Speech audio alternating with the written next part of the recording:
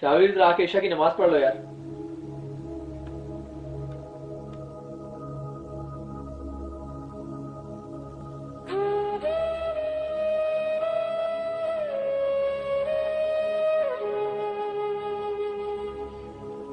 Shower بیٹا سحری کر لو۔ جی آ گیا۔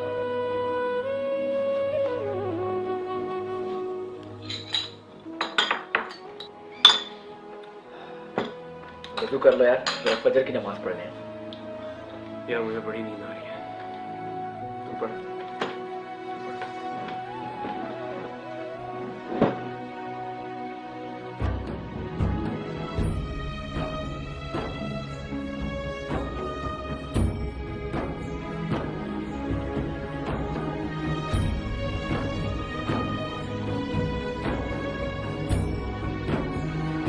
Shower بیٹا افطاری کر لو۔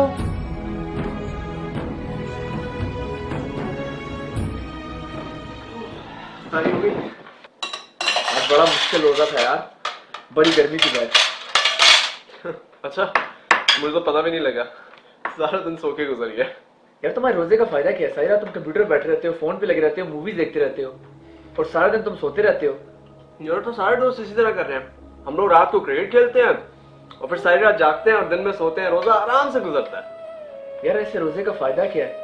روزے کا مطلب جانتے ہو؟ نہ تم نماز پڑھ رہے ہو، نہ تم عبادت کر رہے ہو، صرف اپنے آپ کو بھوکا رکھ رہے ہو۔ یہ کون سا رمضان ہے یار؟ میں مغرب کی نماز پڑھنے جا رہا ہوں۔ سوچنا اس بارے میں۔